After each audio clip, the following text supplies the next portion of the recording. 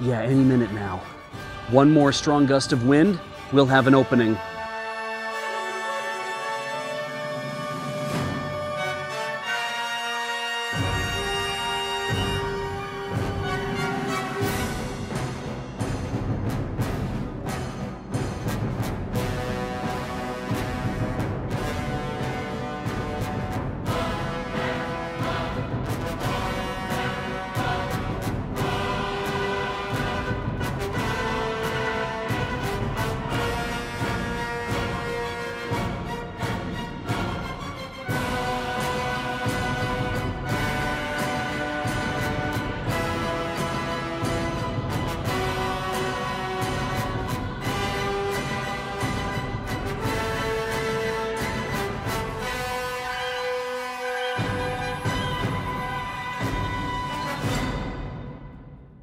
Huh?